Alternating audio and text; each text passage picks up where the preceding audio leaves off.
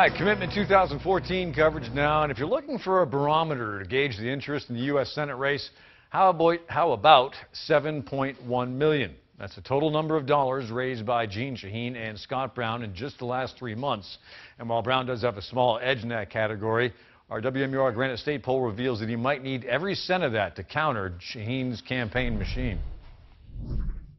In a Senate race that threatens to chart new ground in political nastiness, Jeanne Shaheen now leads Scott Brown by six points with less than a month to go before Election Day.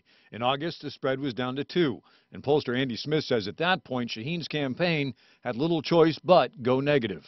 Shaheen's numbers at 47%, 48% are close to a ceiling for her. She really is going to have to work to, number one, make Scott Brown as unpopular as she possibly can uh, over the next month.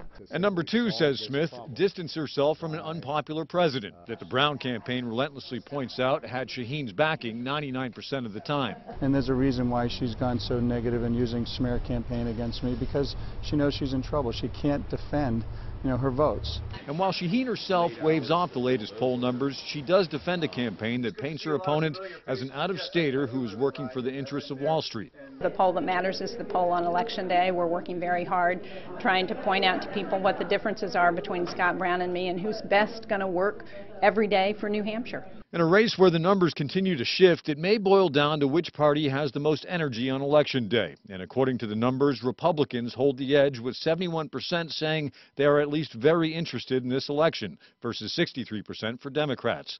And then there's perhaps the most important number in this poll. We still have 43% of voters still saying that they could change their mind between now and the election.